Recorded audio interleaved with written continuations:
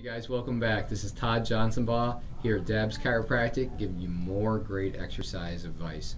Remember, if you have any questions about any of the exercises that we show, again, these exercises are not a substitute for healthcare advice, but you can reach out to us here, or you know, if you have a good relationship with your your provider already, you can see if these exercises can move you and your health forward. So without further ado, here are the foam roll exercises. This is a tool that's been out and been very popular for about the last 10 years, but people have a lot of questions about how to use it. Uh, our patients every day ask about exercises and how to use exercise to move their health forward, and this is a tool that can help you move forward in general, when it comes to using the foam roll, remember you're not going to use it really on really swollen areas. You're not going to use it directly on bony areas and areas, especially like that are uh, that have varicose veins or anything that might be inflamed or infected, please do not put direct pressure on those areas. Those areas need to rest. But for those tight, knotted areas, the foam roll uh, is a great tool to help you, again, move forward. So here's how we start to use the foam roll to help relieve tension around our back and especially our hips. So here's a foam roll right through here. And I can just turn onto my side a little bit and I can just roll out the tension in my gluteal region here.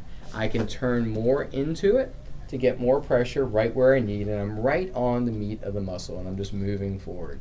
As I feel more comfortable, I can move my body into it more and you can see how I'm lifting my leg to kind of really just get that point there.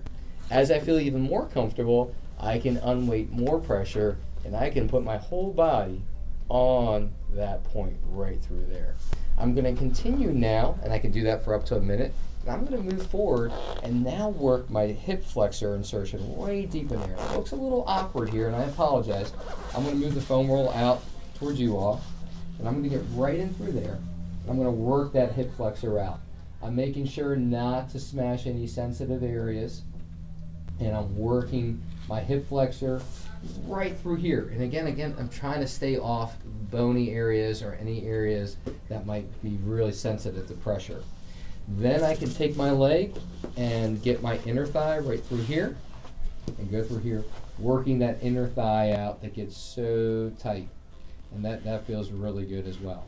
I can continue rolling around, moving around, and I can now work my hamstring as well. Starting here and working this way as I feel stronger, I can use, I can put my weight here, and I can become very dynamic with these exercises, really moving fully. So that works the whole hip area out.